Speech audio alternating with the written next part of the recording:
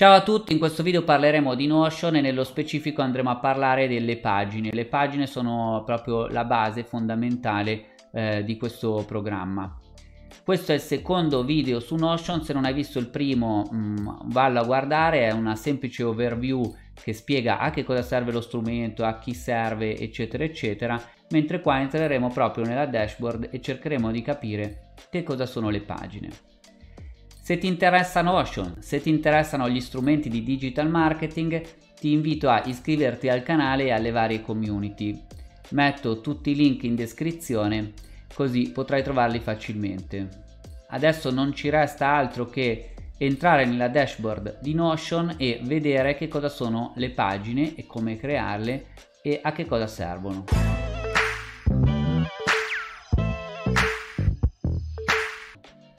Ed eccoci qua all'interno della dashboard di Notion. Come potete vedere siamo già all'interno di una pagina e una pagina può avere veramente eh, tanti moduli e tanti oggetti, tanti contenuti.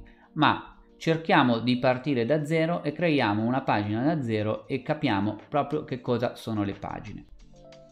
Per creare una pagina basta cliccare qua sul tasto add a page e come vedete si creerà una pagina vuota, completamente vuota. La prima cosa che dobbiamo fare sicuramente è inserire un titolo, possiamo chiamarla pagina di esempio, un nome molto originale e come potete vedere eh, si può inserire una pagina vuota con icona, una pagina vuota, si può inserire un template o importare. Vediamo velocemente che cosa sono i template. Cliccando qua Notion ci dà la possibilità di scegliere delle pagine già con del contenuto che possono servire a diverse cose. Qua ci sono diverse categorie e potete guardarle per prendere ispirazione, per anche copiare dei moduli, insomma per vedere proprio come funzionano le varie pagine che come vedete possono essere molto diverse una tra loro. Si possono importare da altri strumenti i contenuti o si possono creare da zero. In questo caso iniziamo creando da zero. Per prima cosa oltre al titolo si può aggiungere un'icona. Andiamo a vedere. La prima cosa che succede è che Notion andrà a inserire un'icona random ma possiamo ovviamente cambiarla inserire un emoji caricare un'immagine o caricare un'immagine da link possiamo anche dire a Notion di caricarne una random. Per esempio qua ha scelto il telescopio possiamo anche tenerlo e come vedete oltre ad essere qui l'icona sarà anche visibile qua dove possiamo navigare tra tutte le pagine. Un'altra cosa che si può fare è aggiungere una cover. Una cover è un'immagine ecco eh, che sta sopra eh, tutte le altre cose anche qua è andata a inserirne una random che tra l'altro è molto correlata con la nostra icona ma si può cambiare eh, la cover scegliendo colori o immagini caricandola dal nostro device o inserendo un link. Qua c'è anche la possibilità di inserirla da Unsplash. Comunque possiamo tenere questa immagine e possiamo anche riposizionarla. Perfetto a questo punto possiamo inserire il nostro contenuto all'interno della pagina. Mm, cliccando sullo slash possiamo inserire diversi blocchi. Uh, come vedete ce ne sono a disposizione davvero tanti, alcuni li vedremo nei prossimi video, altri quelli più semplici sono diciamo il testo, il titolo, le immagini eccetera e possiamo vederli. Per esempio inserendo un titolo avremo appunto il nostro titolo inserendo un qualsiasi testo vediamo che eh, si creano dei blocchi differenti con titolo testo. Ovviamente possiamo aggiungere immagini video a nostro piacimento. A questo punto una cosa da dire è che si possono anche cambiare i font ma eh, non è che possiamo scegliere fra moltissimi font ma fra tre tipologie. Quindi quello di default il serif un po' più old school, un po' più carta stampata e il mono. A me questo piace molto, è un po' più da coding, diciamo, da um, app appunto di note uh, Notion nasce come un'app di note quindi a me piace mi sembra carino uh, possiamo inserire testo piccolo o, o, no e possiamo anche fare le pagine uh, a larghezza intera. La larghezza intera è molto utile se decidiamo di usare um, un layout a più colonne.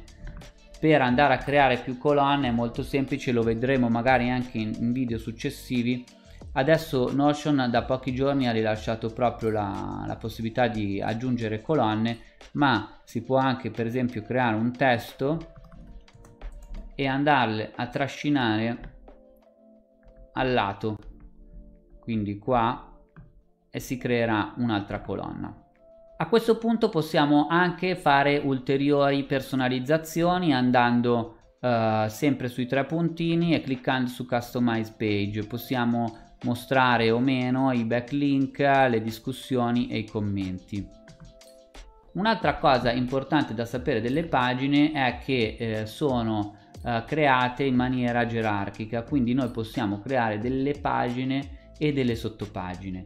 Per esempio andando a cliccare sul più di fianco alla nostra pagina andremo a creare un'altra pagina interna. Quindi pagina interna la creiamo. Qua possiamo guardarla come full page ad esempio.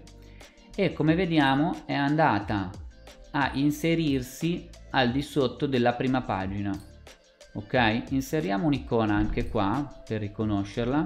Magari inseriamo ecco, un ciclista che non c'entra nulla però ci piace. E una cosa che notiamo è che quando andiamo a inserire una pagina interna nella pagina principale comparirà il link alla pagina interna. Cliccando cambierà subito e andremo a navigare la pagina interna questo si può fare più volte anche all'interno di pagine interne quindi andando a creare una vera e propria gerarchia. Pagina eh, 3 guardiamola inseriamo anche qua un'icona il sole va bene. E quindi che cosa succede? Avremo la prima pagina che linka alla pagina interna la pagina interna che linka alla pagina 3 Un'altra cosa importante da dire eh, è che all'interno di Notion quasi tutto è una pagina, infatti anche gli elementi di un database sono una pagina. Per eh, guardare questa cosa magari vediamo appunto il template dei lifetime deals tracker. Come vediamo qua c'è un database. Magari se è la prima volta che vedi Notion ti sembrerà poco chiaro ma in realtà poi è abbastanza semplice. Cliccando sull'oggetto del database vediamo che si apre come pagina è una vera e propria pagina nella quale poi possiamo inserire tutti i nostri dati, tutto quello che ci interessa. Per quanto riguarda le pagine all'interno di Notion direi che è più o meno tutto. Spero che questo video ti sia utile, spero che ti serva per approcciare Notion che è uno strumento davvero uh, flessibile, davvero utile e se ti è piaciuto questo video e ti va lascia pure un like, ci vediamo al prossimo tool. Ciao!